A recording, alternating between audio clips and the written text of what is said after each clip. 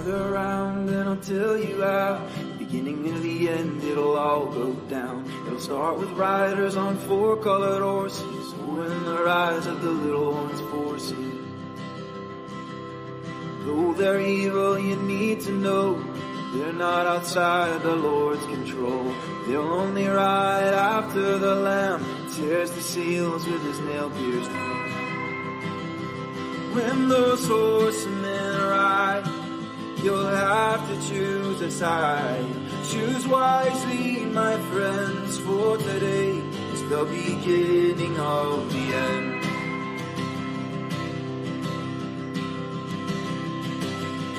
First of four, that horse will be white. Tell you this, he don't belong to the light. He's no redeemer or savior, alright, but a false messiah, the antichrist. Second of the four, that horse will be red. His going forth will leave so many dead. Peace will be taken from the earth, and dread will fall on the world, given over to bloodshed. When those horses rise, you'll have to choose a side. Choose wisely, my friends, for today is the beginning of the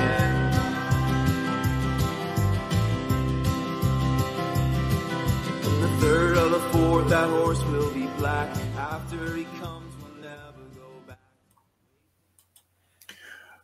Dear Heavenly Father, as we come to you, Lord Father God, uh, and as we gather in your name, Lord, I just come to you, Lord Father God, and just ask that you would use me, that you would use me, Lord Father God, and and uh, in this hour or so, Lord Father God, that you would use me and uh, just uh, be with us, Lord. Open up the eyes and ears of those who may be listening or watching right now, Lord.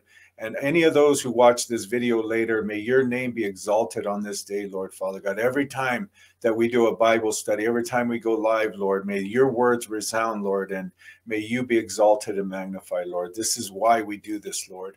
So just give us this time, Holy Spirit, as we gather in your name to fellowship and also to uh, speak your words, Lord Father God. And we pray all these things in your mighty and precious name, in the name that's above every name, in the name of Yeshua, our Lord God and Savior. And we all say, Amen and Amen. Amen and Amen. Well, good morning. Good morning. I tried uh, to do what you uh, what was uh, actually advised for me to do to check out my sound, and uh, it kind of throws me off. Okay, especially in prayer. Uh, but I'm listening right now, and it, it's kind of strange. but I can hear myself, which means that you guys can hear me. Uh, and so uh, may this be a blessing for you on this preparation day, okay? And uh, once again, you guys probably said, oh, there goes David with happy preparation day. Oh, g- thank you, uh, Games Official. Games Official. Everything is clear. Uh, I tried it. I used uh, actually Bluetooth. And uh, but it kind of threw me off, okay, because it's like double sounding. I'm hearing myself. I'm not too used to that, okay. So um, yes, it's working. Thank you for helping me with that but I can't keep them on because uh, I just cannot do that. But I will be able to see uh, another way. I will set it up to see the comments coming in uh, somehow or another. So uh, thank you, Games Official. Amen. Amen and amen. Uh, Mahir, Mahit, right? I think it was Mahit or Mahir, Mahit. Uh, anyhow, I, I, I I say happy preparation day. What do I mean happy preparation day? Okay, every Shabbat, every Sabbath, every Friday. Okay, we know that Friday evening uh, on the Lord's calendar, on the Lord's timing. Okay, His times and seasons begins. Yes, Mohit, Mohit. Uh, uh at the beginning on Friday evenings, uh, we go ahead and start at sunset or at twilight. Uh, begins the Shabbat day, and to keep it holy. Okay, so um, so I always Friday mornings lately I've been saying Happy Preparation Day. Why do I say that? Because today, actually in Israel, Jerusalem, where the Lord will be returning. Okay, His kingdom will be set up in Jerusalem.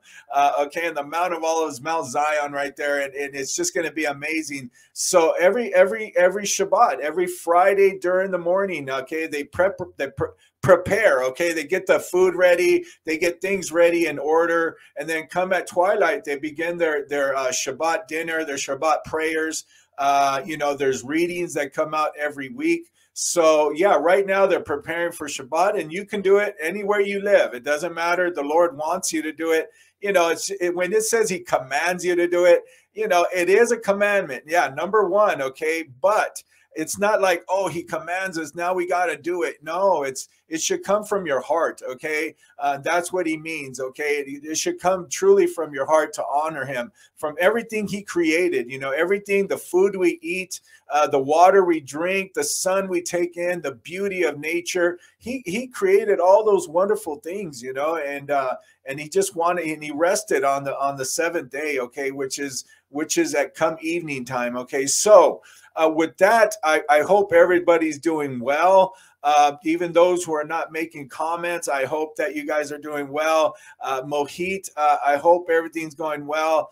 Uh, so with that, I'm going to go ahead and show you a, a, slide here, okay? And I said I might be doing this every Friday, and I'm, maybe I'm going to start. I think I am going to start doing this uh, before we start the reading in the book of Jubilees. Okay. I'm going to be showing you the weekly reading. Okay. Uh, the weekly reading. Now, uh, here it is right here. And so let me make that big for you. The weekly reading. So right here, I put God, God Friday morning. Okay, uh, it might be evening or afternoon, wherever you may be. It might be evening already. Uh, we know it's already getting close to actually Shabbat evening in Israel and Jerusalem. So, you know, depending on where you're at in the world, okay, uh, get prepared, okay, for Friday evening, okay, when evening comes, okay. So uh, to just celebrate, you know, even if it's in your own home with your family, just say Shabbat Shalom, you know, just say Shabbat because the Lord sees it and He honors it big time. Okay, so uh, I put here uh, it's morning where I'm at. It's morning time. And so I'm going to prepare today my Shabbat dinner. I'm going to prepare myself. And uh, so I say God Friday morning, okay? Instead of Good Friday morning, I put God Friday morning, okay? Because every day belongs to the Lord. He gives us breath every day, which is a miracle in itself. When we wake up and we take a breath, uh, and so I say, God, Friday morning to everyone. Happy Shabbat preparation day. Okay, so this week's Torah portion, okay, uh, the Torah, wouldn't you say it's the first five books of the law, is the first five books of the Bible. So uh, if you don't know what Torah means, okay, that's what it is. Uh, you could say Genesis all the way through, you know, it's the first five five books, okay? And uh, this week's Torah portions is Devarim, okay? We're going to be reading. Oh, it's Friday night for Games Official. It's Friday night. So, see, your Shabbat, Games Official, um, uh, Mohit, your Shabbat already started. So, you know, get in custom, get in, get it used to it. The Lord wants us to actually, uh, the, these these uh, Moedim these days are set, and He wants us to actually celebrate them according to His ways, not man's ways. Okay, according to His calendars, His times, His seasons. So go ahead right now. It doesn't matter if you're not used to it. Just start by saying Shabbat Shalom, my Lord. Shabbat Shalom. It's already evening. It's nighttime for you. So it's already begun. It doesn't matter where you live. Remember, it's already started for you. For me, it's morning time come evening time i'm going to light a candle i'm going to say thanks i'm going to i'm going to i'm going to uh, say the shema and then i'm going to w- watch a friday evening service and i'm just going to prepare my dinner prepare for shabbat okay so it doesn't matter where you live you don't have to live in israel this is my main point so you could say right now, Mohit, Shabbat Shalom. There you go. Shabbat Shalom, my Lord. So that the Lord sees your heart, Mohit. He sees your heart. And so now he's going to say, "Oh, look at look at Mohit." He's going to say, "Look at Mohit." You know, he never did this before. Shabbat Shalom. He's going to recognize your heart. He's going to say, "All right, all right." You know, and for right now in the heavenlies, I just want to make a point of this, and I won't go too much more into this so for sake of time uh, as we do this reading today but you know even in the heavens above you got to understand that when the earth, when God made the earth in six days, on the seventh day he re, he, he rested. The angels in heaven rejoiced, and this is a day. It's scriptural that the heavens rejoice on his day of rest. He didn't stop. We are going to be celebrating the Shabbat into the millennial kingdom. There's scripture that proves that, and also into the new heavens and new earth. Why, why wouldn't you want to celebrate a day that he created all things? You know, why wouldn't you? And he got so much more for us the new heavens, the new earth, the millennial kingdom. So, for now, it's a dress rehearsal. So, why wouldn't you? He gave us this day for a reason. The angels in heaven right now are rejoicing because why? Because it's God's calendar. Okay, we're in unison with the angels in heaven, rejoicing, uh, praising Him on this uh, day of rest, this last day of His, not man's, His calendar. Okay, so uh, great. That is awesome. Shabbat Shalom from Mohit. Praise God. Uh, Connie, Connie Cook, good evening. Yes, right now, Connie Cook, you could say, be saying to the Lord, Shabbat Shalom, Lord. You know, uh, I, I love you. Thank you for creation. You can start by doing that. It's, it's amazing. Right now, everything is shut down in Israel everything is shut down all the the business as usual all the you know not all places of the land we know that uh, but in, in Jerusalem, everything shut down for the Shabbat. They celebrate it every Friday, every Friday. Every it's been ages since everything, all the commerce, all the businesses, they shut down on this day. It's it's very interesting. It's like silence all over the city. Imagine if you live in a city, right? All right. Uh, good evening. Good evening, uh, Harold Bailiff. Uh, it's always good to have you, Harold. Uh, my regards to your beloved wife, Regina. It's always good to have you with us, Harold. I hope everything's fine. And so every, um, let me go ahead and put this on. Every, every, uh, it's very interesting that I saw a document documentary where the everything, all the businesses and everything shut down, you know, in preparation. And all, uh, actually at evening time, they're getting prepared. They block off the streets they block off the streets. There's no there's no driving around. It's it's just amazing, and they just fully give the day to the Lord. You know, it's it's just amazing. It's very amazing, and I I saw that. I go, wow! I didn't really know they did that. But yes, they do. They follow Shabbat and they have been for a long time. Maybe they all don't realize what it stands for. Uh, but you know, it's going to come the day. You know, we pray that they will believe in Messiah. You know, because most of them don't. Uh, but we pray for that, Amen. And we're all going to be celebrating Shabbat together. So, happy Preparation Day, Ebenezer. Uh, says hi. Hello, Ebenezer. I, I, welcome to the channel. If you haven't been here before, my name is David. We do a, a, a reading out of the Book of Jubilees. It's uh, say you could say Genesis, but not really. But it's just a, it's it's a beautiful book. You know, we point out different things in the book, and it does it does uh, speak highly of His commandments, His laws, His feast days. So this is what I like. His Jubilees. Uh, so this is what I like about this book. Okay, so uh, welcome, Ebenezer. Ebenezer, welcome. And so this is, I, I just want to say every week I'm going to be bringing you the Torah portions. Okay, so this you write them down, write them down, or you know, when I go to the next slide, go ahead and write these down and then go ahead and read them tonight. Uh, games of uh, Mohit, uh, Connie, go ahead and write them down and read them tonight. It's the Torah the Haftarah and Matthew. Okay, so I'll, I'll, explain that to you, Ebenezer, right now. I'll explain to you. Um, but anyhow, write these things down. It's a weekly. It's a weekly portion. So we're it goes through all the five books portion by portion. Okay, every year it starts over again. It starts over. It just goes through them.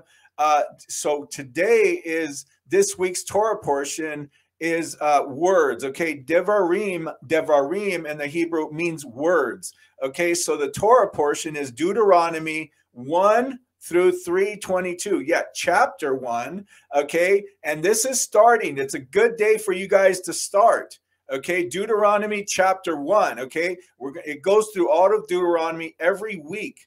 Uh, it's a, it's a it's a portion okay so this week it starts deuteronomy okay very powerful book 1, chapter 1 uh, through chapter 3, three chapters. Uh, and uh, at verse 322, it ends there. And next week will be next week's portion. Okay. So uh, the Haftarah is, is prophets. Okay. Reading from the prophets. So there's a section of the Torah, a section of the prophets, which Isaiah chapter 1, 1 through 27. Very powerful book, prophet Isaiah. So this begins with Isaiah. It always reads a reading from the prophets. And last but not least, the, the gospel okay so we, these are messianic believers these are for us okay we've been grafted in as believers in yeshua okay so we know that we read the portion a little differently from those who do not believe in messiah. So there is a gospel portion and it's a very powerful gospel portion. I've already read these. I read them every week. So it's matthew 24 1 through 22. Okay, so I highly recommend you read these uh, this weekend or whenever you have the time. Uh, maybe next time I'll give you more time to read them, but then becomes uh, Friday evening. Okay, so it's already evening for you, Connie Cook. It's already uh, nighttime, and you don't have to do this. Okay, if the Lord, if you if you don't, I'm not saying that you have to, but it is a blessing, and the Shabbat is commanded by our Lord, but He doesn't want you to do it forcefully. Okay, so if the Lord puts it in your heart, well, choose the things uh, that the Lord wants us to do. I would I would uh, recommend that the most. Okay, because we're not to honor men or women. We're not to honor man, but we are to honor our Lord God and Savior. Okay. So um, I would recommend that you begin doing this. Amen. So um, we're going to go ahead and go through the next. I'm just going to read this through really quick. And uh, uh, hold on. I don't think this is the Devarim. Um, Devarim is actually the word that we have, the weekly reading, the Devarim. It tells you what this means. Devarim is both, uh, so this is the portion summary. It says the Devarim is both the title for the last book from the scroll, from the Torah, and the title of the first Torah portion therein. Devarim means words. Okay. The English speaking world calls this book Deuteronomy. The Hebrew title for the book comes from the opening phrase of the book. These are the words, the Devarim. These are the words which Moses spoke to all Israel across the Jordan in the wilderness. Deuteronomy 1 1. One ancient name for the book of Deuteronomy is Mishnah HaTorah, which means repetition of the Torah. This is similar to Greek Septuagint named Deuteronomos, which means second law. The English name Deuteronomy is derived from Deuteronomos. The book of Deuteronomy is dominated by Moses. Uh, Moses' farewell address to the children of Israel as he urges them to remain faithful to the covenant and prepares them for entering Canaan uh, during the course of the book. Moses reviews the story of the giving of the Torah at Sinai and the trip to the promised land. Uh, remember, this this actually points to the millennial kingdom, okay? The, uh, the greater exodus. It's going to be all over again, and we're going to enter the land of milk and honey, which refers to the millennial kingdom, okay? So, a lot of prophetic messages throughout these scriptures. Uh, I'll be pointing those things out, and another time, sometimes I do it.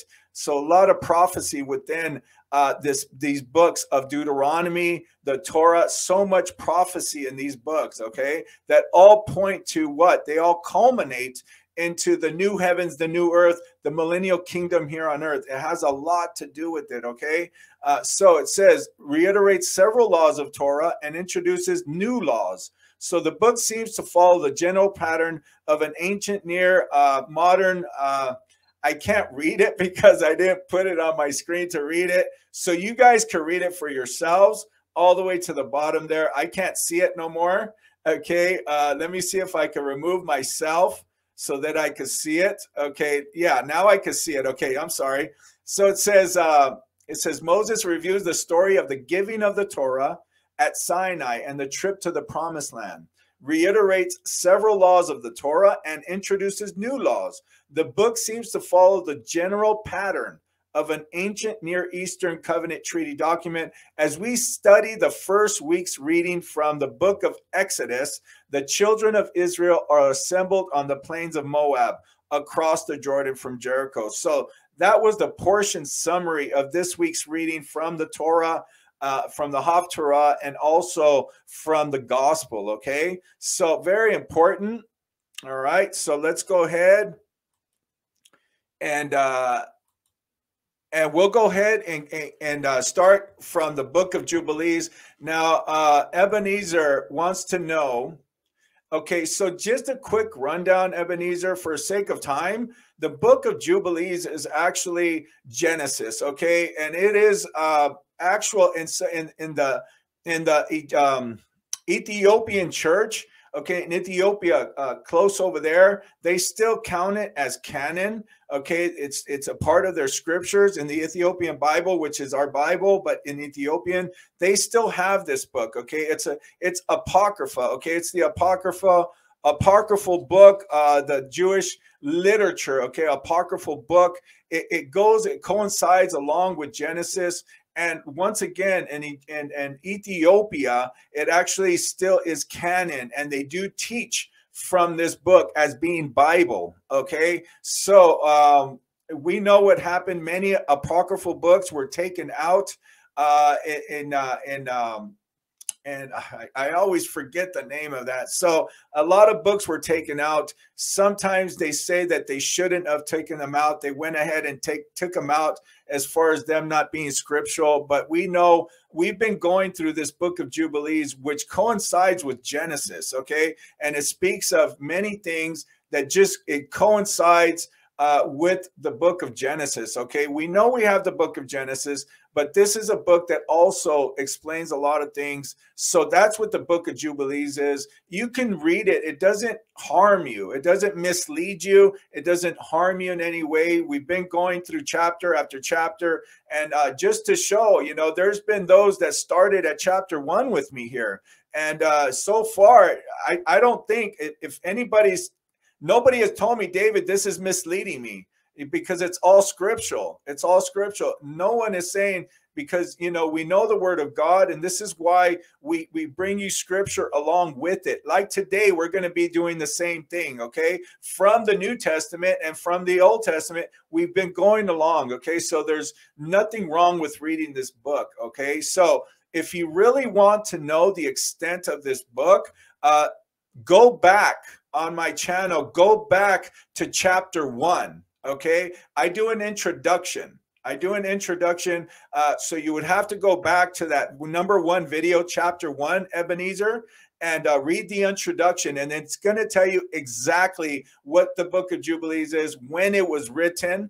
Okay. So um, just go ahead and go back uh, to, to, to video number one. Okay but stick around. It's going to be a great reading. So check it out for yourself. And you'll see it talks about jubilees. It talks about a lot of feasts. It talks about uh, Abraham, Isaac, Jacob, uh, uh, uh Isaac being Israel. Now we're going to pick up with his sons, uh, the 12 tribes of Israel. So, you know, it's just, it's just coincides. It's very interesting and very biblical very biblical. And once again, and uh, I believe other places also still have it as Bible, okay, as canon, okay, as canon, okay. So, uh, in other words, there's places that didn't follow and take out books, okay, when they really weren't supposed to be taken out. I, I don't know. That's what I just say. That's my opinion, okay. So, uh, we still have Bibles with the Apocrypha in them still. Okay, we have Bibles with the Apocrypha. They didn't take those out till later. Okay, so there is still Bibles with the Apocrypha in it. Okay, so very, very important. Very important. So, anyhow, okay, I hope that kind of explains. But if you want further, further uh, reading of what the book of Jubilees is, uh, actually, the Jubilees is a count also 49. It's a count of 49, the Jubilee count uh, weeks of seven. Okay, weeks of seven, which we know there's jubilee counts. Uh, it's a it's a time uh, time uh, that God placed on on on uh, on years, which is seven years or seven times seven. There's always a jubilee, just like um, a good example would be um, from first fruits or Passover. They count 49 days, which is a jubilee count A count. Okay. Now the Jubilee is not celebrated no more because all the 12 tribes of Israel are not united. They've been separated. So the Jubilee was actually a command to, to celebrate the Jubilee, and they did. Okay, they did before, but they no longer celebrate it. So they say once the millennial kingdom starts, they will be celebrating the Jubilee once again, okay? Because all the 12 tribes of Israel will be restored and they will begin in the millennial kingdom, okay? So, but we have indication uh, from from uh, from Passover to actually Shavuot, which is Pentecost. Uh, we get 49 days, okay? So that's a Jubilee count. It's a count of seven times seven is 49 that is a Jubilee count. So on the following day, when that Jubilee count was completed, it was 50, okay, where we get Pentecost, where we get Shavuot in the Hebrew, Pentecost in the Greek. Okay, that was the leaving of the Holy Spirit. That's one prime example of what prime example of what the Jubilee is. Okay, it's one one one point of example. You can read it in Leviticus uh, chapter 23 what the Jubilee is. Okay, so I hope that explains to you lightly, just covers the, the you know the surface of what a jubilee is. So the book of jubilees is just a count. Um, so uh, also a count and other things. Okay. So for further explanation, what is a jubilee? Uh, go ahead and go to Leviticus 23, and it'll tell you what a jubilee is. Okay, and how they celebrated it. Okay. So and also in Daniel, it has a jubilee count concerning the end times. Okay. Seven times 70 is 490. We're at 483 on God's calendar of the seven times 70. Okay. It's also a jubilee. Okay. Uh, some some go as far as to think it's going to be this year, but no, it's not. Certain things have to come to pass. Okay, but it is a count. Okay, so and it does count that time in in this book. It says, okay, on the whatever fifth jubilee of the seventh week okay it goes into this as you will be seeing okay and so um uh yeah okay amen yeah so there it is yeah i'm reading it's canonical yeah so um there there there have there there you have it it's canonical so like i said there's nothing wrong with reading this book it's actually very very good okay and uh, it's actually very interesting. Okay, and it's very good, and it aligns. We've been doing that for a long time. At first, we're just lining everything up. Okay, this is where we're at in Genesis. This is where we're at. This is where, at, and it gets you. It gives you just a little fuller meaning. It just it just gives you a little fuller meaning. Okay, so I, I found it to be a blessing for me. It's not the first time I read it. I found it to be a blessing for me, and it did me no wrong. It did me no wrong at all. Okay. It's not made up stories. Okay. It's not made up stories. Uh, it's not the Talmud. Okay. It's not the Talmud. It's not made up stories or anything like that. Not talking down, but it's not made up stories. Okay. So, um, other, in other words, this is for you, Ebenezer. I wasn't going to explain this, but I'm doing this for you because we have a lot of reading to do. Okay, we've already got we've already been on 30 minutes. and so we have a lot of reading to do. And so without further ado, I'm going to go ahead and begin chapter 32, okay? So yes, yes, it says yeah, I'm reading it's canonical in the Ethiopian Orthodox Church. So I'm I'm just saying I wouldn't lie to you. I wouldn't steer you wrong. It is canonical in the Ethiopian church, okay? And just go, you know, just you could do further studies why they took apocryphal books out. Uh, it wasn't all all good. It wasn't good uh, reasons. Uh, it just I'm not going to go into that. Uh, but you will find out, okay, when when books were taken out of the Bible, it was for other reasons. Uh, it wasn't totally honest. Uh, for the most part, we do have great books in the Bible. Don't get me wrong, but there's other reasons. Okay, so I'm going to let you investigate that, and maybe someday I'll, I'll talk to you about that. Okay, but in the in the Ethiopian church, yes, it's still canonical. Okay. Um, do Messianic Jews read Talmud also? Some do. Some do, and I don't. I don't um, agree.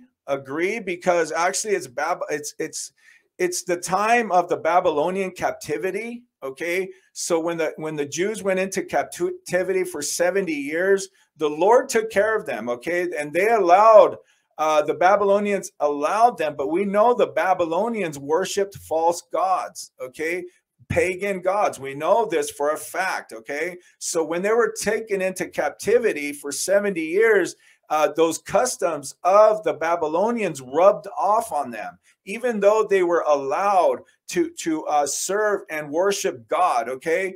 But after a long time, 70 years is a long time. So they took certain uh, holidays, traditions, uh, some even a month that they, you know, names that, that were Babylonian names. Uh, Rosh Hashanah is one of them. It was the New Year's of the Babylon, of Babylonia, the New Year's, Rosh Hashanah was actually uh, it was a Babylonian New Year, okay, and they placed it on the the Feast of Trumpets. That shouldn't have been done. I, I, I, I, my opinion is strongly against that. Okay, so the Talmud is readings uh, that explain the Torah, okay? But it was during the, the time of the Babylonian captivity, and and uh, it's just you can read the Talmud, okay, if you're interested in reading it but there's some Messianic Jews that read the Talmud, and I, I wouldn't recommend it because, uh, like I said, it does. It was in a period of time when they were serving with uh, Babylonian captivity, which they worship false gods. Okay, so there's a lot of controversy in that. Some Messianic churches don't do it. They don't read. They don't. They don't believe in it, uh, and so they they don't read from the Talmud. No, they don't. So I hope that answers your question. Okay. I don't know much about Messianic Judaism. Okay. Oh, okay. Messianic Judaism is this, okay? Just just so you know, just so you know. Messianic, okay, Messianic is if you could say Christian. Okay, so you say what? It's the same as a Christian. Yes, it is. Okay, because all you're saying is Messiah, Messianic Messiah, right? Who's Messiah? Messiah is Jesus Christ. Messiah, there's only one Messiah. That's Yeshua. So if you break down the word Messiah, messianic, or you say Christian, what are you saying? Christian, you're saying Christ. Who is the Christ? It is the Messiah. The Messiah is the Christ. The Messiah is the Christ. The Christ is the Messiah. So you're just saying Christian, okay? You're saying you're a believer in Christ. Messianic, you're saying you're a believer in Messiah. You don't have to be Jewish to go to a messianic church. You have to be a believer in Messiah. Okay, let me break it down this way. Acts chapter 2, or you could say uh, the believers, uh, Matthew, Mark, Luke, John, uh, the disciples, they were all Jewish. Okay, they were all Jewish and they believed in, they walked with Messiah. Jesus was Jewish. Jesus was Jewish. Okay, I hope you know that. Yeshua was Jewish, okay? And uh, he was the king of the Jews. He will be the king of the Jews. And we have been grafted in as Gentiles. So just to make certain, okay, I, I attend a Messianic church, right? And so there's, there's, I, I'm not saying, I'm just going to put races. Okay, we all know, okay, but anyhow, there's Chinese there, there's Mexicans there, okay there's there's blacks okay there's there's uh, europeans okay so it's not your race. You don't have to go to messianic church. And the and the and the and the rabbis and the elders there they don't say nothing. They don't say oh no this just belongs to the jews. No it's not like that. It's not not not, not like that at all okay? They don't force they should not force anything on you okay? And the one i go to they don't. Now i have heard that some messianic uh, uh, temples actually force you to do things okay? And that's not not correct okay? But they do read from the torah they do read from the gospel. It's uh, you got to understand a messianic jew if you just make it easy a messianic jew is actually the disciples okay? And all the followers of yeshua okay? Even those that were being persecuted, they were the followers of Yeshua ever since Yeshua walked the earth. Those are Messianic Jews. Those are believers in Yeshua. Okay. So it doesn't matter what race you were from. Okay. So you can go to a Messianic church. I hope I explained that well because they were all Jewish. All the disciples were Jewish. Okay. So that's a prime example of who a Messianic Jew is. Okay. Like I said, you don't have to, the gospel went out from there. That's why the gospel went out from there. And there shouldn't have been a disconnect because it's the same ways the Lord was telling them follow my ways, follow my commands. He didn't get rid of his Torah. He didn't get rid of, no way, no way. This is him himself. He didn't get rid of this Torah. Okay, so there was a very big disconnect from then. And as we see in churches today, there's been a very, a, I call it the great disconnect. And he's gathering them back. He's saying, Get back to my ways. Get back to my ways. How, how, you know, he's like, You guys shouldn't have never disconnected from me. Now look what happened. Okay. So, yeah. So the, the, the, the, the disciples said the same thing. Okay. So that's 35 minutes, and we're this is going to be a long one then. but if you have any questions, I'm here to answer you. So I don't mind. I don't mind at all, Ebenezer. I don't mind. Okay. Uh, so, but let's start this reading. Okay. So we and after Ebenezer, if you want to uh, go ahead and uh, stick around to the end, uh, we do uh, fellowship. Okay. We don't just end it and that's it. Uh, whoever wants to fellowship, whoever wants to log off, they can log off. Uh, but you know, we stick around, we fellowship, we ask questions, we talk about things. Okay, so um, yeah, so we could gather together. If you want to stick around, Ebenezer, after this chapter's reading, if you want to kind of see, wait a minute, yeah, this is good, this is good, then go ahead and stick around and listen to the reading. Okay. All right. With that, let's go ahead and start uh, the book of Jubilees, chapter 32. Okay, chapter 32. All right, here, here we go. Here we go. Let me get there. And chapter 32 of the book of Jubilees. Okay, so here we go. Uh, and he stayed. Let me take a drink of water first.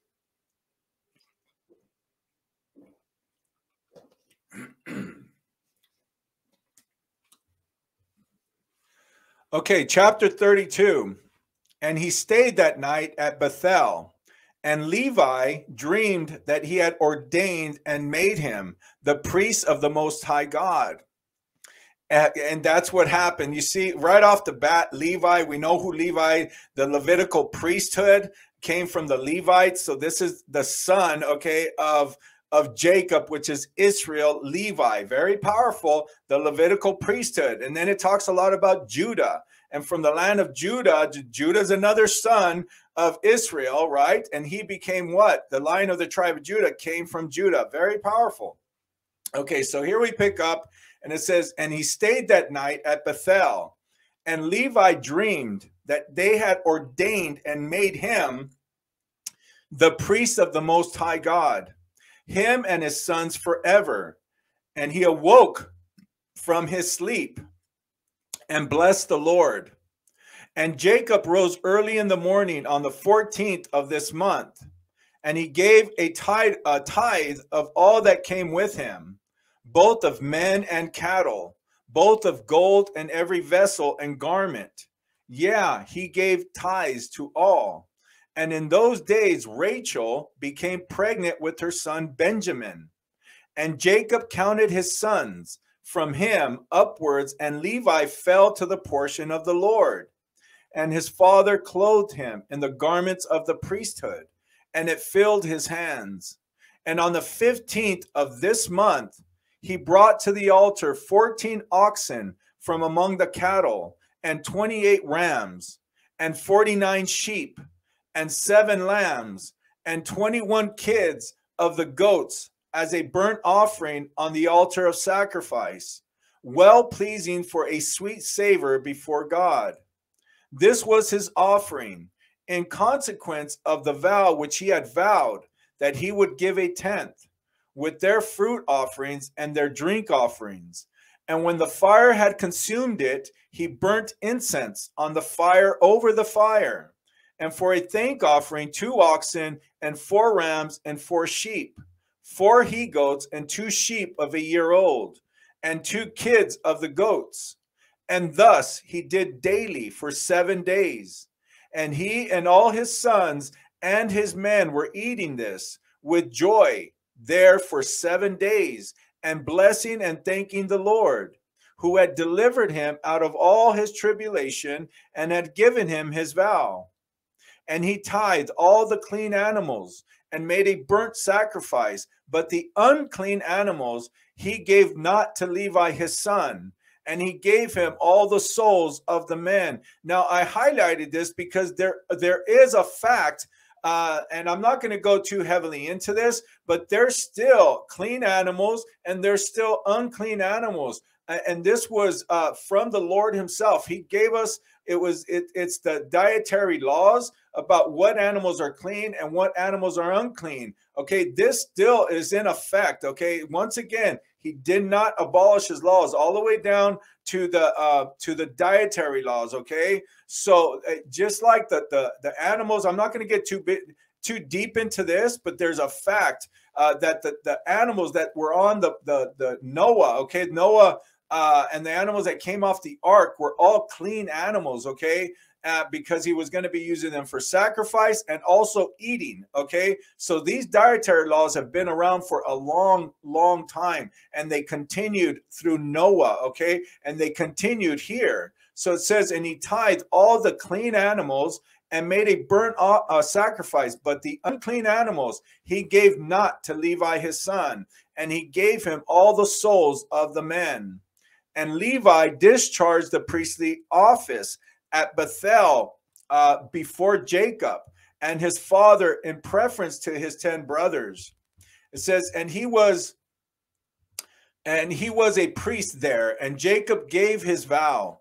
Thus he tithed again the tithe to the Lord and sanctified it, and it became holy unto him.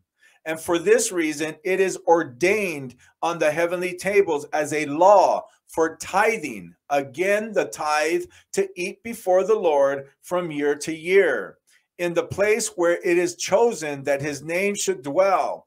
And this and to do this law, there is no limit of days. It was an offering, okay, an offering to the Lord. It is still done. We know, uh, of course, not by animals, but there's there, there's still a tithe there, right? The first fruits or uh, whatever you have, we give, okay? Because why? Because the Lord has given to us to help others, so we give, okay? So, however you do that is however you do that. If you tithe to your church, what a blessing, okay? But the Lord wants us to give back, okay? Uh, in other words, to help, okay? What the blessings He gives us, amen.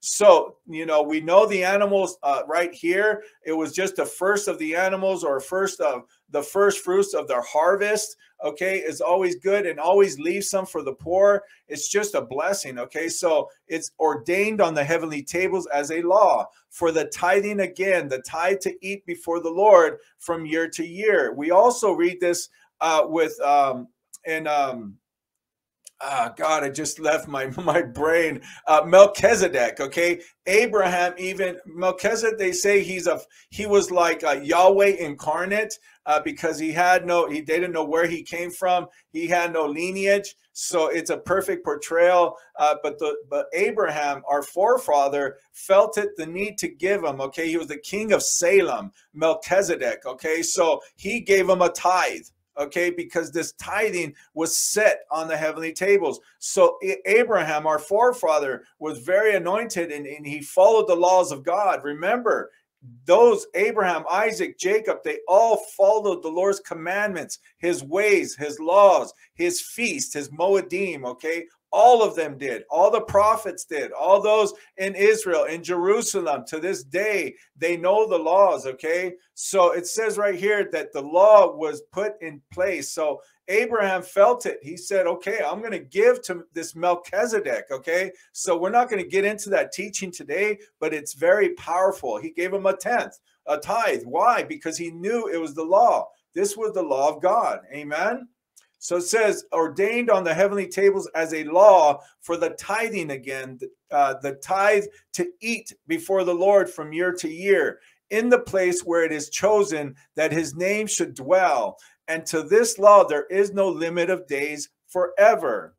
This ordinance is written that it may be fulfilled from year to year in eating the second tithe before the Lord in the place where it has been chosen, and nothing shall remain over over from it from this year to the year following. For in its year shall be the seed to be eaten until the days of the gathering of the seed of the year, and the wine unto the days of the wine, and the oil unto the days of its season.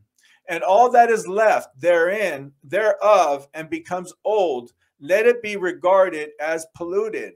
Let it be burnt with fire, for it is unclean. And thus let them eat it together in the sanctuary, and let them not suffer it to become old. And all the tithes of the oxen and sheep shall be holy unto the Lord, and shall belong to his priest, which they will eat before him from year to year. For thus it is ordained and engraved regarding the tithe on the heavenly tables. Now we know we don't animal sacrifice no more, but it's going to begin in the temple to come. They're going to start sacrificing again. Okay. Uh, there's more, there's talk about the red heifer. We could go into that later, okay? So it will be restored in order for the Lord to return back, okay? So there will be sacrifices once again with animals. So 16, and on the following night, on the 20th, on the 22nd day of this month, Jacob resolved to build that place and to surround the court with a wall and to sanctify it and make it holy forever for himself and his children after him. And the Lord appeared to him by night and blessed him and said unto him, Your name shall not be called Jacob. This is very powerful. Your name shall not be called Jacob, but Israel shall they name your name. This is when the change of name came about uh, from Jacob to Israel. And this is where we have Israel today. Your name shall not be called Jacob, but Israel shall they name your name. And he said unto him again, I am the Lord who created the heaven and the earth, and I shall increase you and multiply you exceedingly. And kings will come out from you, and they will judge everywhere, wherever the foot of the sons of men have trodden. Now, I made a comment here, okay? It says right here, kings will come out from you and they will judge everywhere, wherever the foot of the sons of men have trodden. This also concerns the end, okay? I just made a funny note on here. Uh, Richard B. yesterday, Richard B. was listening, okay? I don't think he was commenting, but he was listening. And uh, he made a comment on yesterday's uh, video, okay? On the, not yesterday, the day before uh, when we did uh, uh, the study, and he popped in at the last second, and I saw it. And I I put it up. Okay, Richard B. Uh, we prayed that he was okay, and he did return back, even if he was just listening. But he did make a comment at the end. So one time in one of our live streams, uh, Richard B. I know maybe you guys don't know who he is, but he was a regular all the time. And so uh, Richard B. Uh, he, he he popped in, but we, at one point in one of our studies, he says, I want to be a king, okay, in the new heavens and the new earth, okay, in the kingdom, the millennial reign. Now we're going to be judges, okay? Uh, kings, uh, we might be, there's kings over nations, okay? So whoever he's going to place, because we know that he's going to give us some kind of title, uh, depending. Okay. So, can we be placed a king over nations or a leader? Yes, we can. We know we're going to judge the angels. Okay. Which angels? That's that's another topic, but we know we're going to judge the fallen ones, the fallen angels, okay? Not the angels in heaven, but the, the fallen ones, okay? So it says uh First Corinthians 6, 2 through 3, okay? 2 and 3. Don't you realize that someday we believers will judge the world. Okay. And since you are going to judge the world, can't you decide even these little things among yourselves? Don't you realize that we will judge angels? So you should surely be able to resolve ordinary disputes in this life. Okay. Now, once again, I'm just going to make a note here. If you don't know, I'm going to make a, um, a comment. Okay. I've been doing a series okay, calling finally following God's laws. And no, they have not been abolished. I'm not going to get deep into that right now. But right here, what do you think we're going to be judging? We as believers are going to judge the world. Where in order to be a judge, okay, just look at a court system. The court system right now there's a set of laws right? If you get in trouble for something doesn't matter if it's domestic civil whatever you got to go to court. So in the court what do they have? They have laws okay? Perfect example they have laws right? And so the law is applied to what you you did okay? Why you're there? If it's against you they're saying okay you broke this law. You broke this section of whatever section. You broke this law and they judge you by it okay? Now we have a set of laws and they're god's laws. So i'm making videos going through all the laws of god. The gods the, the laws of the land the dietary laws all those are still very much in effect because right here we'll be judging according to whose laws? We will be judging the world okay? By whose laws? By god's law okay? So that's how important god's laws are his commandments. There has to be a book of laws in order for us to judge from okay? They're his laws that we're going to be judging the world by. They're his laws that we're going to be judging the angels by because we know the angels trespassed and we know they trespass against God's law. So these are the same laws. This is why it's so very important. Go through the videos that I'm making 613 laws of God. Can we fulfill them? Are they important? His ordinances, all this, his statutes. So please go to those videos. Start from video number one. We've been going through all them. Get familiar with them. Get familiar with them. Amen. Okay, so I just thought I would mention that and we must abide here on earth. Remember, we're set apart. We're not from this world, and we have laws, okay? We have laws of God. We are his children. We abide by his ways, not man's laws, not his ways. Of course, we have to abide by his laws, but there's certain laws within the government that aren't our laws. They're not ours. They don't apply to us.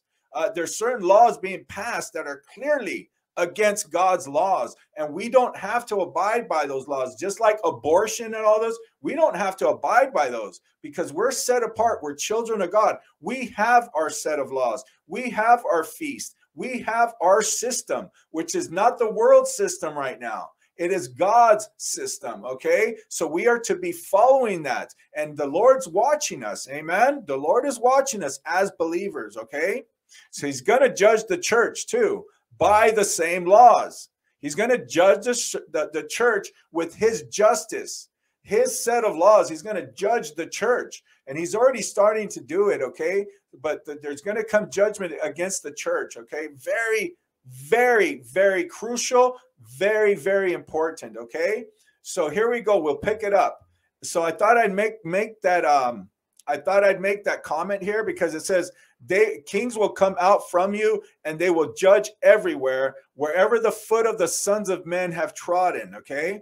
And it says and i shall give to your seed all the earth which is under heaven okay?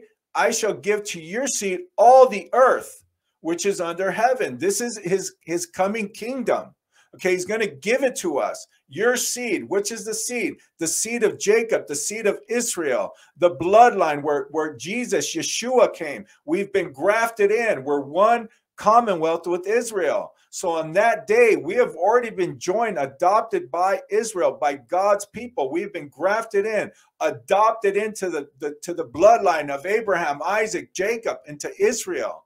And on that day, we're going to be Israel. If you're a believer in Christ, you've been already uh, grafted into Israel. You already are uh, grafted into Israel. You have become Israel, okay? It doesn't matter what race you are. You have not become a Jew, but you became an Israelite. You became Israel. I hope you can understand this. It says, And I shall give to your seed all the earth which is under heaven, and they will judge all the nations. Now, Richard B said he wanted to be a king, okay? And so I laughed about it. I said, well, maybe, okay? So it says, and they will judge all the nations according to their desires, okay?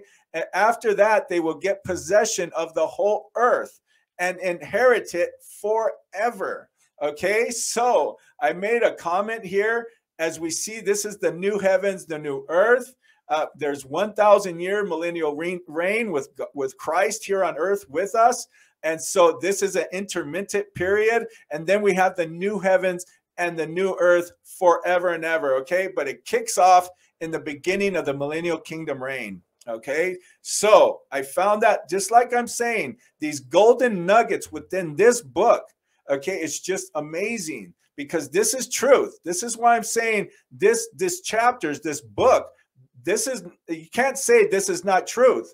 This is where our Bible teaches, okay? So here we go. I made a note here. And this is from uh, this is according to like scripture okay? I, I say it's in here and it coincides with the book of revelation okay? Talking about forever and the new heavens and the new earth okay? So i put here eschatological.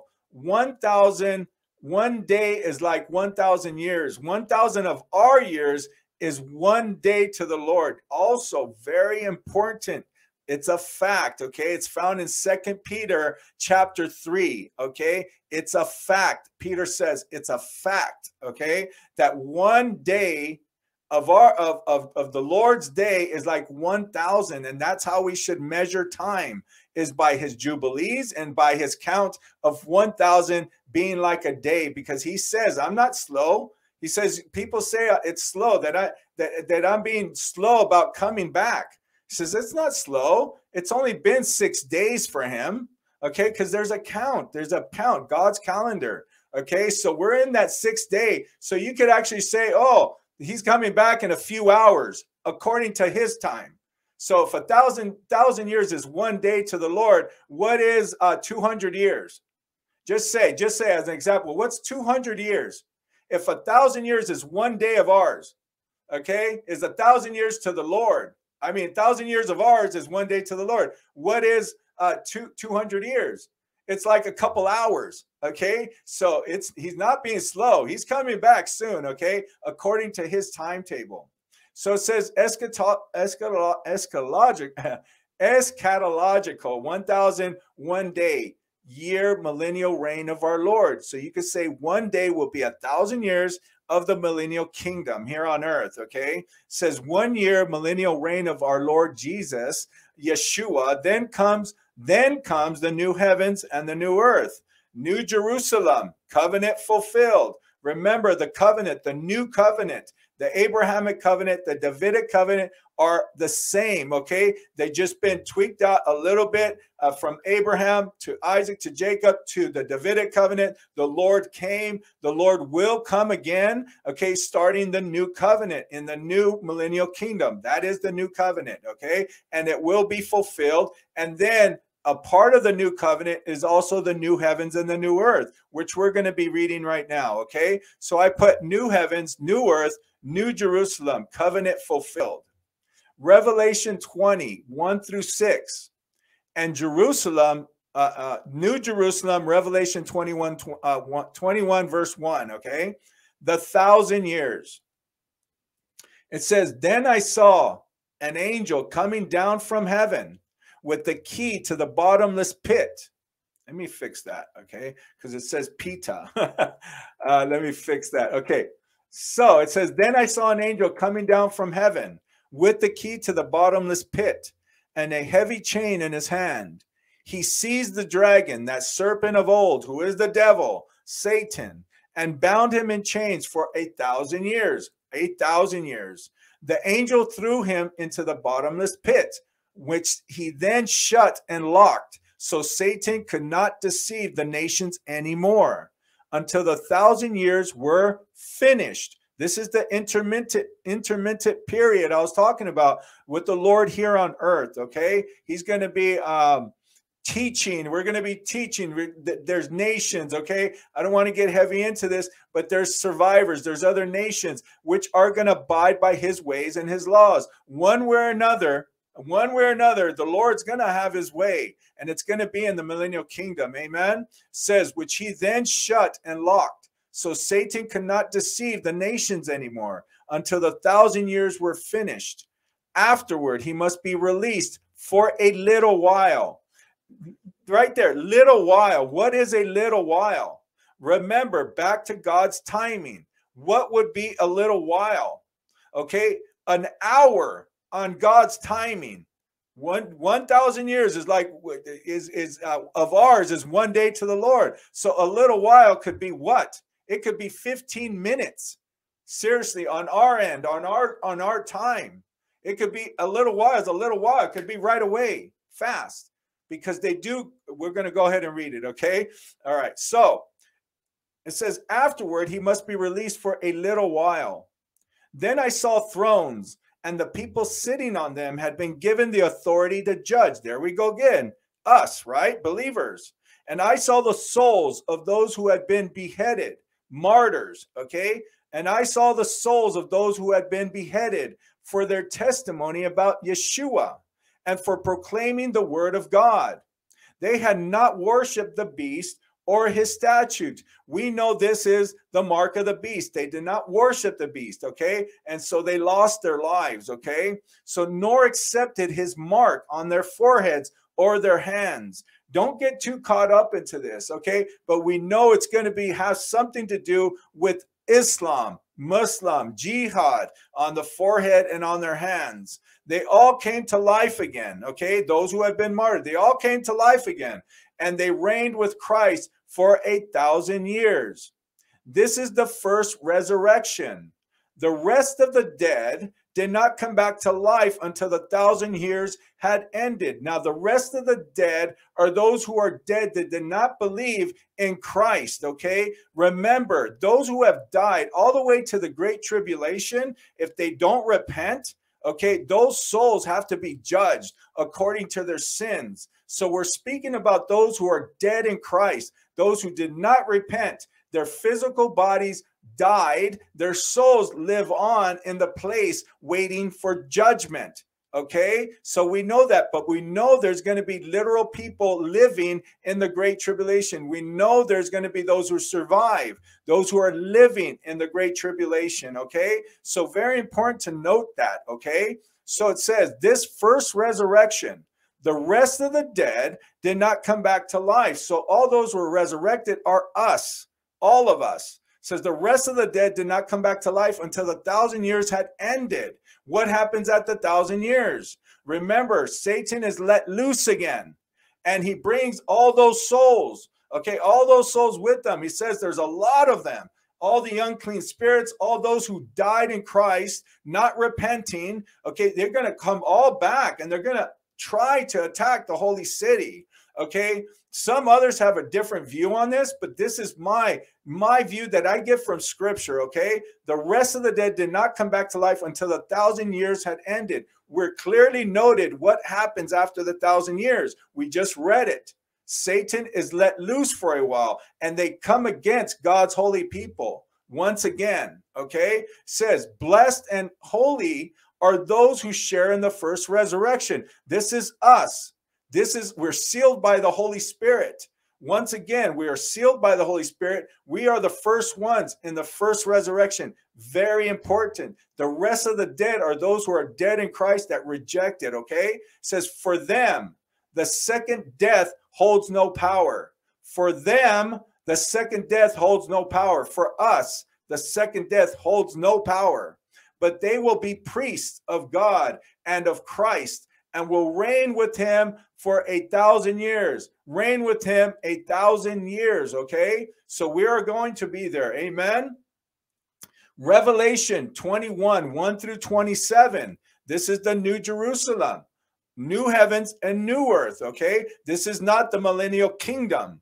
Okay. The millennial kingdom will last forever because we know Satan comes against it. You could go ahead and read it in the context. Satan surrounds the, the millennial kingdom, surrounds God's people. Okay, but God takes them out by fire. There's no war, there's no battle, there's no military battle. God takes them out with fire all at once, fast, dominates them. That's the difference. Okay, so it says the new Jerusalem, new heavens, new earth.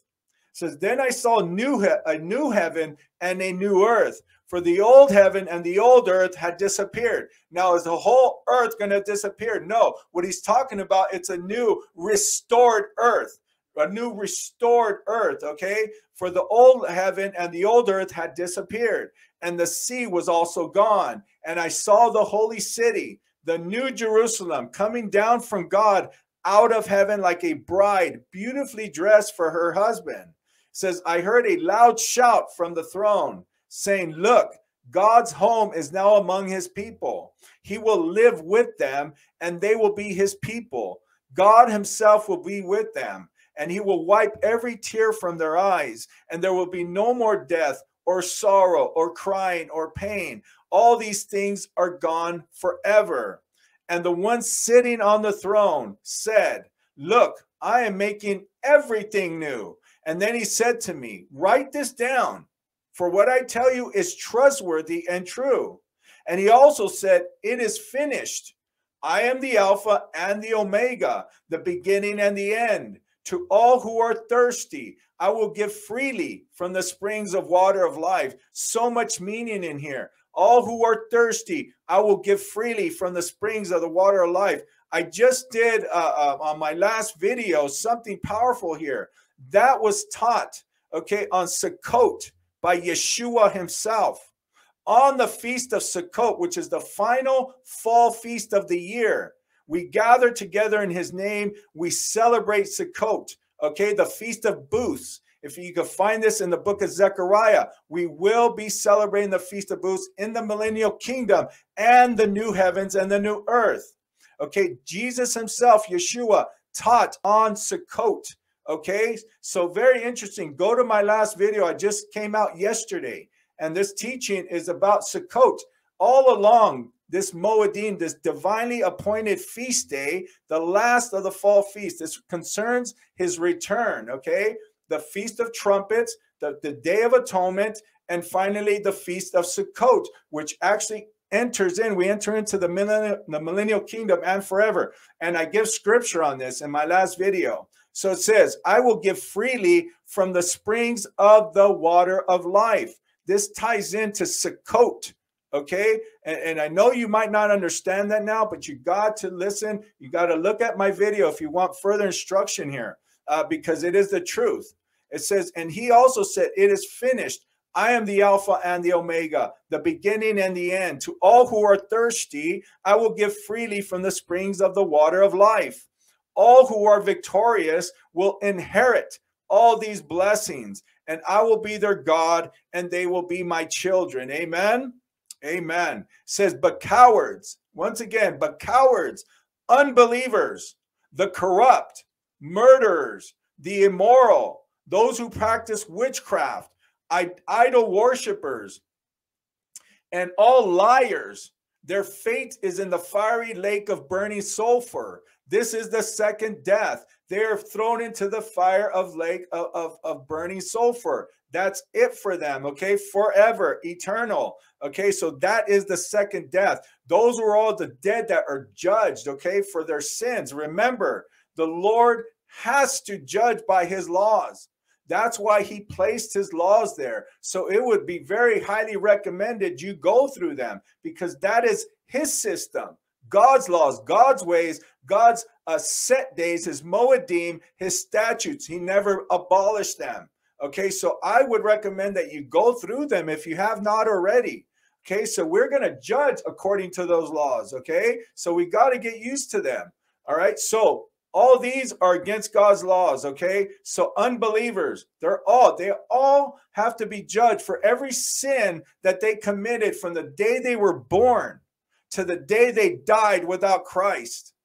From the day they were born, from the day they were died without Christ, because when you believe in Christ, you, your your slate is white clean, but He watches you after too. Okay, this is why repentance is so important. Okay, and to align with His laws. Okay, so the, all these are those dead. All those are those dead. Okay, that come after the thousand years. Those dead. Okay, are, are, judged according to their sins, according to God's law. Okay, so it says, but cowards, unbelievers, the corrupt the corrupt, the murderers, the immoral, the immoral, those who practice witchcraft, idol worshippers, and all liars. Their fate is in the fiery lake of burning sulfur. This is the second death, okay?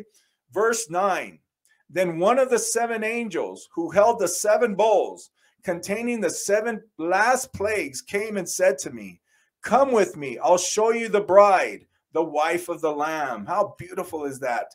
How beautiful is this? Okay. So he took me in the spirit to a great high mountain And he showed me the holy city, Jerusalem, descending out of heaven from God. It shone with the glory of God and sparkling like a precious stone, like jasper, as clear as crystal. The city was the city wall was broad and high, with 12 gates guarded by 12 angels. And the names of the 12 tribes of Israel were written on the gates. The 144,000 are the tribes of Israel. Go through that teaching. They're going to play a big part in the final week, okay? A big part. The 144,000 gathered together, uncorrupted, un, uh, uh, untainted, okay? Virgins, okay? You could say perfect, purified. They have a lot to do. They are the 12 tribes, okay? This is what we're reading about right now the 12 sons of Israel. This is why it's so important to today. It's not just history, it plays prophetically in the end days and here in the new Jerusalem and the new heavens and the new earth. So, once again, and the names of the 12 tribes of Israel were written on the gates. There were three gates on each side east, north, south, and west. The wall of the city had 12 foundation stones, and on them were written the names of the 12 apostles of the Lamb. Okay, the 12 disciples, the 12 apostles. How awesome is that? The 12 tribes and the 12 apostles, right? Just amazing, amazing. Just so much depth I could get into right here. It says, the angel that I, am just going to say it, okay? The 12 apostles were when Yeshua came, okay? The Davidic covenant, Yeshua came and he gave us Jews and Gentiles. He grafted us into the commonwealth of what? The 12 tribes of Israel. Okay, so the 12 tribes of Israel are right here in the new heavens and the new earth. The names of the 12 tribes of Israel were written on the gates, which are who? It's the 144,000. It's the names. It's the it's what we're reading right now. The 12 sons, the 12 tribes come together with the 12 apostles. Okay, together combined, Jews and Gentiles, one in Yeshua, one in Israel. We have become Israel together, one in Yeshua. Amen. We are to abide, abide in God's ways, his laws that he set for them. Okay, his statutes. Okay, so I just want to mention that there and, and we know this is the new heavens and the new earth. So it says the angel, because some say Israel's no more. Some say Israel is no more. Right here, it's what does it say? They're there. The 144,000, they're there. Israel is not gone. Okay. We have not replaced Israel, not whatsoever. So it says the angel who told, let me take a breath. the angel who talked to me held in his hand a gold measuring stick to measure the city, its gates, and its walls. This is amazing in itself. Direct dimensions. Okay. This is measuring God's measuring stick that he measures, and it's in detail, just like the ark. Noah's ark was in detail. The ark of the covenant was in detail detail, the, the, the temple on earth, uh, the, the, the uh, blueprint of the temple, those things that are temporary on earth, those things that are just a, a, a blueprint of those real things in heaven, they were given in detail how to make them measurements. The Lord is very precise. It's very precise. Okay. So this you could take you could say this is 100% how this place is going to look. Okay. So I've done already the math. It looks like a big cube to me. Some say it's a pyramid, but I say it more looks like a cube.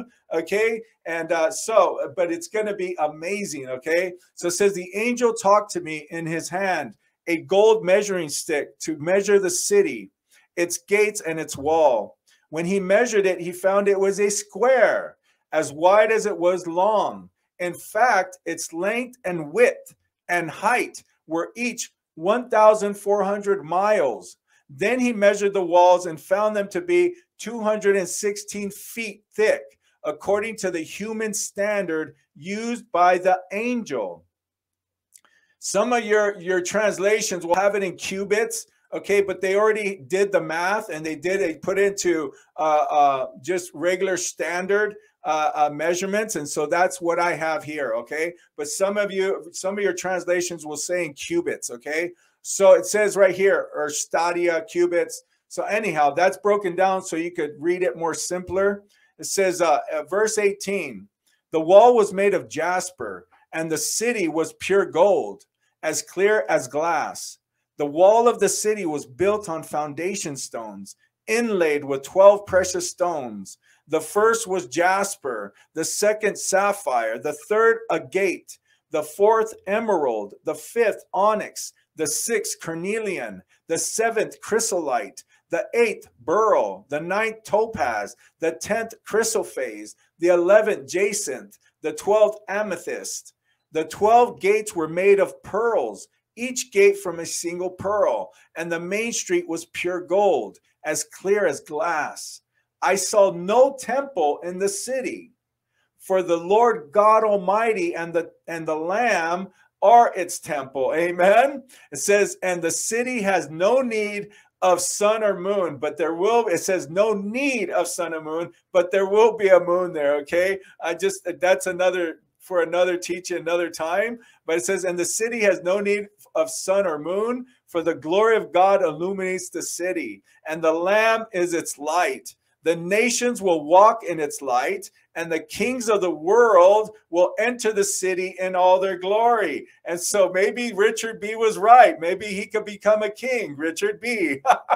Because it says the kings of the world, okay? We know our king, our Lord Yeshua, is king of the universe but there will be kings. Okay, it says it right here. So uh, Richard B says he wants to be a king. Well, maybe Richard B, maybe. Okay, you got to prove yourself here on this earth, right? So it says the kings of the world will enter the city in all their glory. Its gates will never be closed at the end of the day because there is no night there. And all the nations will bring their glory and honor into the city. Nothing evil will be allowed to enter, nor anyone who practices shameful idolatry and dishonesty, but only those whose names are written in the Lamb's book of life. Amen and amen. Amen and amen. So that's not the finish. I remember I told you it was going to be a little long. Uh, so in verse 20, here we go. So I thought I'd put that there because why? It's in the context. And I shall give to your seed and all the earth, verse 19, which is under heaven, and they will judge all the nations according to their desires. And after that, they will get possession over the whole earth and inherit it forever. Okay. The 12 tribes along with the 12 apostles. You got, you got to understand this. And he visioned and he finished speaking with him. And he went up from him. And Jacob looked until he had ascended into heaven. And he saw in a vision of the night. And behold, an angel descended from heaven with seven tablets in his hands. And he gave them to Jacob and he read them and knew all that was written therein, which would befall him and his sons throughout all the ages. And he showed him all that was written on the tablets and said unto him, Do not build this place, and do not make it an eternal sanctuary, and do not dwell here, for this is not the place. Go to the house of Abraham, your father, and dwell with Isaac, your father until the day of the death of your father Isaac. For in Egypt you will die in peace, and in this land you will be buried with honor in the sepulchre of your fathers, with Abraham and Isaac. Fear not, for as you have seen and read it, thus will it all be. And do you write down everything as you have been, uh, as you have seen and read? And Jacob said, Lord, how can I remember?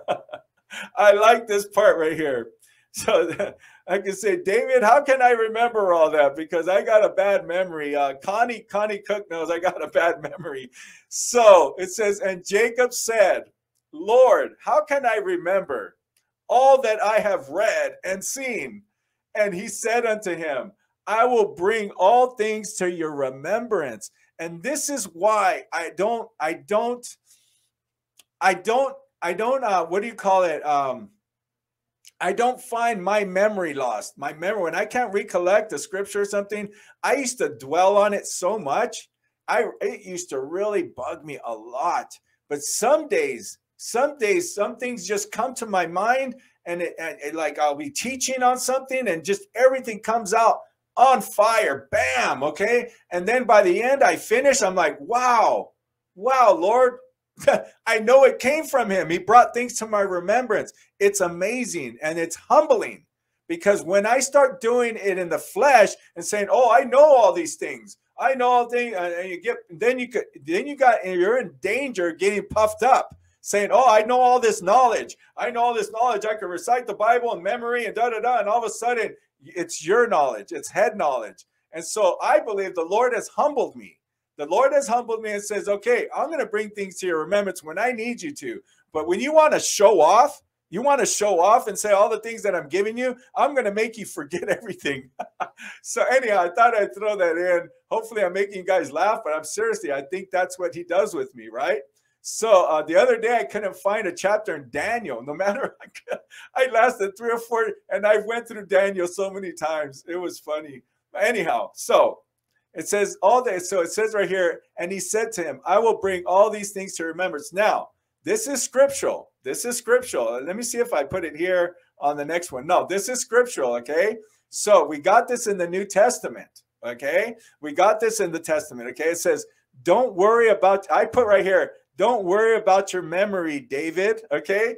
Amen and amen. So the Lord tells me, don't worry about your memory, David. I'm going to bring those things to mind when I need you to. Remember, we got to rely on the Holy Spirit, okay? Truly, okay? So in Matthew, verse, uh, chapter 10, verses 16 through 20, it says, Look, I am sending you out as sheep among wolves. So be as shrewd as snakes and be as harmless as doves. So we're, we're asked to be shrewd as snakes but harmless as doves. But beware, for you will be handed over to the courts and will be flogged with whips in the synagogues. You will stand trial before governors and kings because you are my followers. But this will be your opportunity to tell the rulers and the other unbelievers about me. Okay, this is it will be an opportunity. Okay, and this already begun. This is the Lord telling them, be careful. But it, it started from the day of the Lord. It started from that day forward.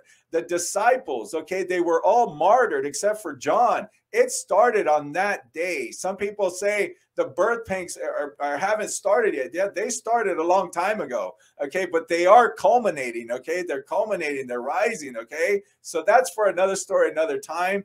But on this context right here, it says, You will stand trial before governors and kings because you are my followers. But this will be your opportunity to tell the rulers and the other unbelievers about me. When you are arrested, don't worry about how to respond or what to say. Don't worry about how to respond or what to say. God will give you the right words at the right time. God will give you the right words at the right time. For it is not you who will be speaking, it will be the Spirit of your Father speaking through you. So that's when I read this, I'm like, thank you, Lord, because I really used to bash my head about my memory. He says, don't worry.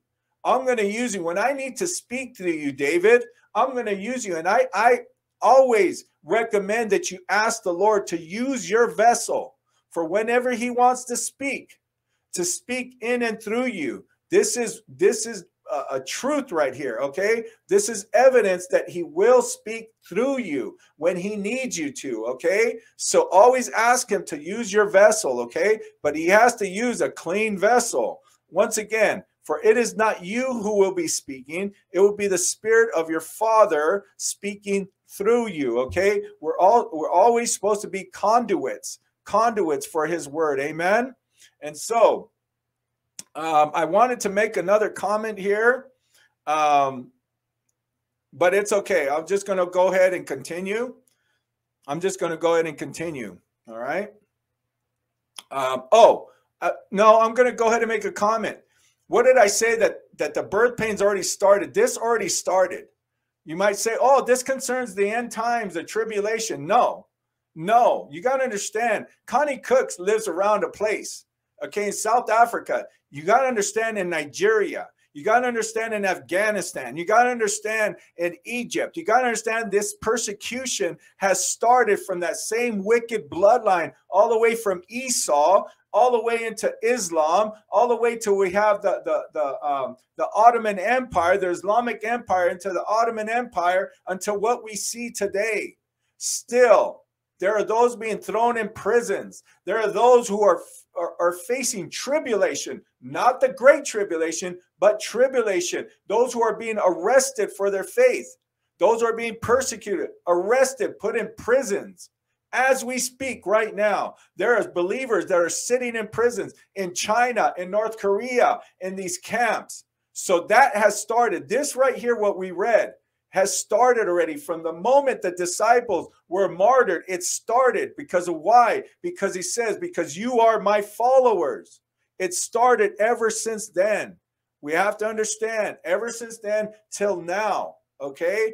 Uh, and we could go into that subject again, but so many say they think that this refers to the great tribute. No, this has started already. Just because you live in a nation to where these things aren't going on, like in the United States, you're a believer, of course you're not being killed. Of course you're not being uh, hauled off. Okay, we got religious rights, but in so many places, and the Bible, remember, is Israel centric. It's all the nations. It speaks of Israel centric. So you got to understand this. Amen. Amen. So I thought I would uh, share that with you about memory. Okay, if you have memory lapses, don't worry, don't be too, because the Spirit will use you when He needs you. Okay, He will work in and through you. Okay, but we got to be clean vessels for in order for Him to do that. Okay, so let me pick it up from. Um, and he went up from him, and he woke from his sleep and he remembered everything which he had read and seen. He remembered everything which he had read and seen, and he wrote down all the words which he had read and seen. So I just put right here the Lord did it supernaturally, and it brought it and it brought it to his remembrance. Amazing. All that was spoken, he remembered every word and he wrote it down. How awesome is that, right? So the Lord can do that. Don't put Lord the Lord in a box. Says, and he slept, and when he were and when he woke up, he remembered everything which he had read and seen in his vision, and he wrote down all the words which he had read and seen. Amen. So, verse 27 and he celebrated there yet another day, and he sacrificed thereon according to all that he sacrificed on the former days, and he called its name addition. For this day was added, and the former days he called the feast. And thus it was manifested that it should be, and it is written on the heavenly tables. For that reason it was revealed to him that he should celebrate it and to add to the seven days of the feast. Right here, I just made a comment eight feast days because I just did uh, uh, the Sukkot, the eighth greatest day uh, when the Lord taught on Sukkot, he mentioned the greatest day, the eighth day. It talks about the eighth day, and that pertains to the new heavens, new earth. So, right here, I just put it down because that's what I've been studying uh, the eight feast days. Okay, so there's going to be an eighth great day. Okay, so that's Sukkot into the millennial kingdom, the eighth day after the seventh day of Shabbat, the 1,000 years, and into the eighth day. Okay, eighth meaning infinity, eternity. The number eight is the eighth day after the seventh day is the eighth day. New heavens, new earth, eternal. Okay. The new, we just read it. Okay. So you can look at my videos to see what I'm talking about here. So it says, and its name was called addition because that that it was recorded among the days of the feast days according to the number of the days of the year and in the night on the 23rd of this month Deborah, Rebecca's nurse, died, and they buried her beneath the city under the oak of the river. And he called the name of this place the river of Deborah, and the oak, the oak of the mourning of Deborah. And Rebekah went and returned to her house to his father Isaac, and Jacob uh, to her house to his father uh, Isaac. And Jacob sent by her hand rams and sheep and he goats that she should prepare a meal for his father, such as he desired. And he went after his mother until he came to the land of uh, Kabratan, and he dwelt there. And Rachel bore a son in the night and called his name Son of My Sorrow, for she suffered in giving him birth. But his father called his name Benjamin. On the 11th of the eighth month, in the first, this is what I was talking about. Uh, um, I'm having a mind blank. Uh, anyhow, the, the brother that that was uh, asking about the count, the Jubilee count. Um, anyhow, on the 11th of the eighth month, you got to realize this was God's calendar. So you could like look at your calendar and you say, oh, it was the month of August, the eighth month. You can say, oh, the month of August. No, it's not the month of August. You got to understand we have months according to God's calendar, and it wasn't in August. Okay. So very, very, uh, very important. Okay. God's calendar is very important. God's timing, God's calendar, God's laws, God's statutes they're all very important to know, okay? On the 11th of the eighth month, in the first of the sixth week of this Jubilee, okay? So they counted Jubilees every 50 years. This was the count of Jubilees, the book of Jubilee. A Jubilee was 50 years, okay? So they had a count going. Every 50 years is a Jubilee, okay? So that's, you could call it that, okay? It's not 49. 49 uh, just to explain to you before we finish this chapter, 49 is not, say if, say if you got to the 49th day, you can't call the 49th day Pentecost. You got to wait for the 50th day. Why is that? So say you're one hour, say you're four hours from completing the 49th day. Is it Pentecost? No, it's not. You're still in the 49 day. So the day after at sunset, it it changes, right? It's the next day, okay? And so that's the day you got to count. It's completion, okay? So very important. It says uh, the first of the sixth week of, of, of this Jubilee. And Rachel died there, and she was buried in the land of Ephrath, the same as Bethlehem. And Jacob built a pillar on the grave of Rachel, on the road above her grave.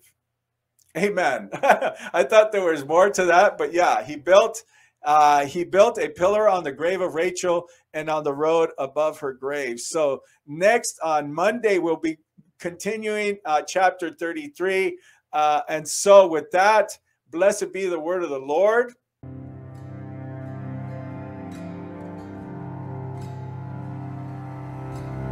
Powers of the air give away, the sky will roll, the mountains fade redeemed of the King at the end of the age, singing Maranatha, Lord, haste on the day. Take the scroll and loose its seals, stars fall, earth reel. The man with the scepter, the man with the sword, the man of the cross will soon be crowned Lord, and this night will soon be over. And this night will soon be over. So bow your knee, and turn your eye. The only one worthy, the only one right. His eyes are like fire and glory. He'll ride to Jerusalem as he rips through the skies. The blood of the Lamb will be our only hope when the plagues and the fire and the blood and the smoke fall upon nations and fall upon kings way for the end of all things, and this night will soon be over. And this night will soon be over. When the seals and the trumpets and all of the bowls have run their course and taken their toll, and the last of the wicked have taken their stand before the Lord, the Lord's right hand. Zion fountain of judgment and burning, open for cleansing for those who are yearning for this night to soon be over. For this night